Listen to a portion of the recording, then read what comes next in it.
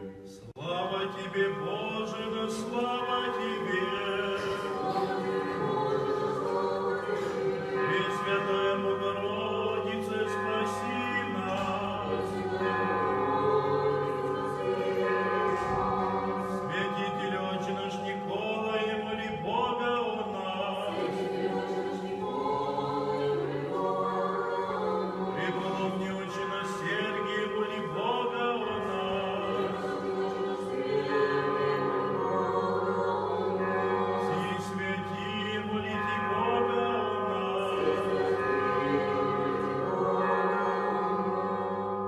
Во имя Отца и Сына и Святого Духа. Аминь. 24 марта. Память преподобного отца нашего Иакова Исповедника.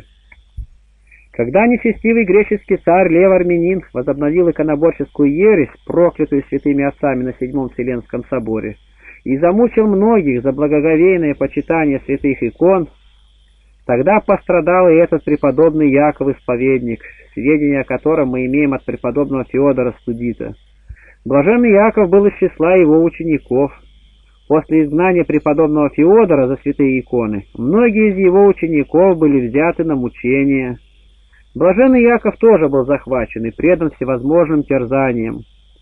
Когда же нечестивый лев армянин был убит, святой Яков, как и прочие исповедники Христова, был освобожден из заключения и, прибывший еле живым в свой студийский монастырь, что в Царьграде, вскоре скончался и достойным образом был погребен.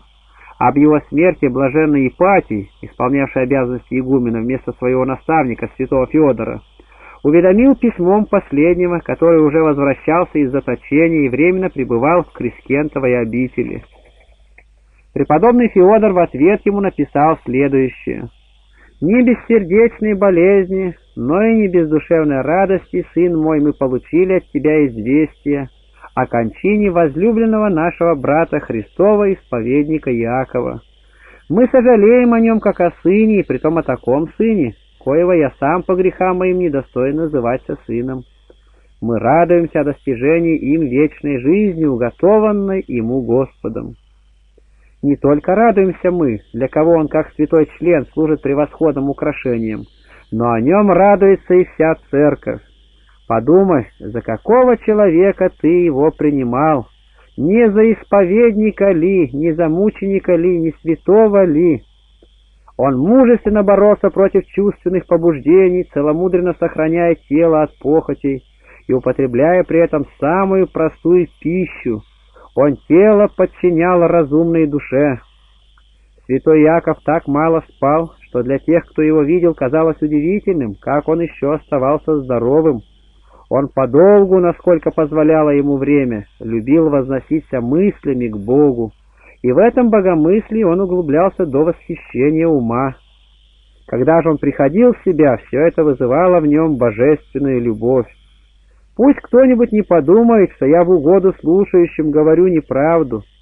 У меня есть свидетель, Бог и наставник святого Якова Иоанн, который рассказал мне о нем то, чего я сам никогда не знал. Все это было простым способом приучить себя к постнической жизни.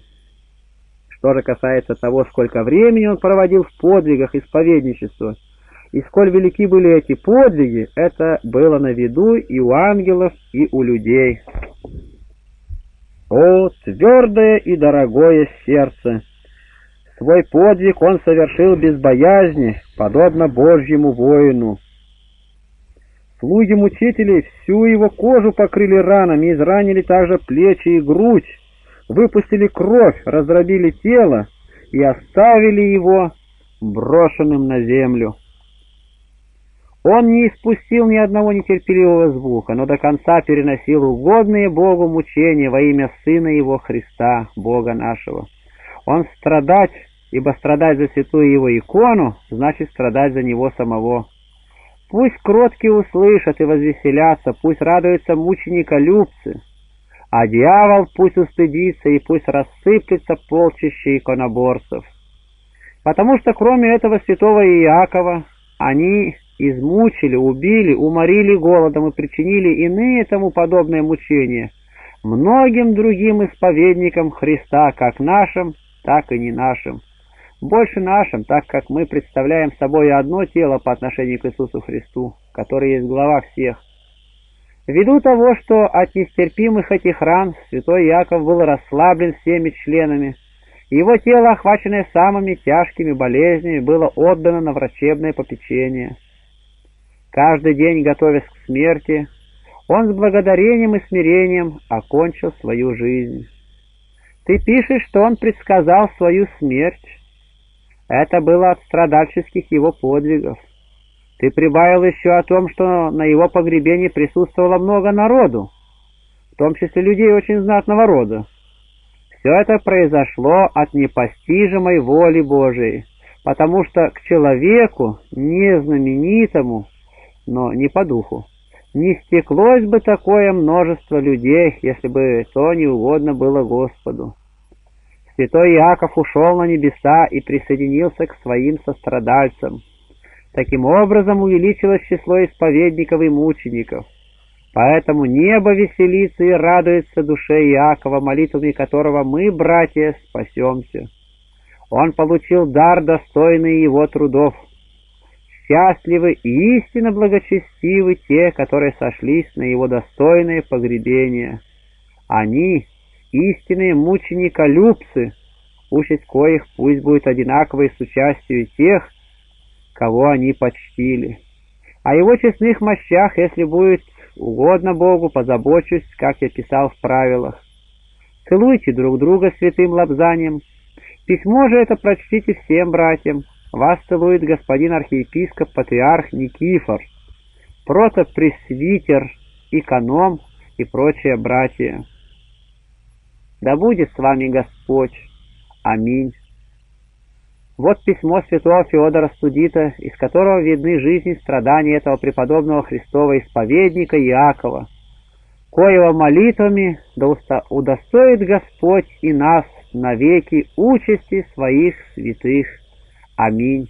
Богу нашему слава во веки веков. Аминь. Просим, приходите, подписывайтесь, э, будете регулярно получать с нашего канала.